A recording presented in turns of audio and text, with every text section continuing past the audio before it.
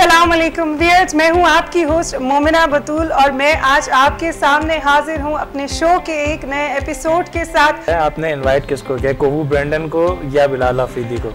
तो ये मेरी अब तक की टोटल अचीवमेंट है और ये पाँच साल की जर्नी का मुझे ये बताएँ कि ये जो एक रेसलर है उसके लिए सबसे ज़्यादा इम्पोर्टेंट क्या होता है? प्रैक्टिस या फिर उसकी डाइट या फिर मतलब क्या एक्सरसाइज क्या होता है अब मैं वही फाइव टाइम्स वर्ल्ड चैंपियन रहा हूँ आई डब्ल्यू वर्ल्ड चैंपियन और वन टाइम ईस्टर्न और one time Asian champion second जुलाई को जो है इनका बहुत बड़ा इवेंट है जो जो जाना चाहे वो मेरा शो जाके देख सकता है देखने के बाद क्योंकि उनको रियायत मिलेगी ना। बिल्कुल। बिल्कुल जी। अगर आप लोग जाना चाहते हैं तो ज़रूर जाइएगा आपको रियायत मिलेगी।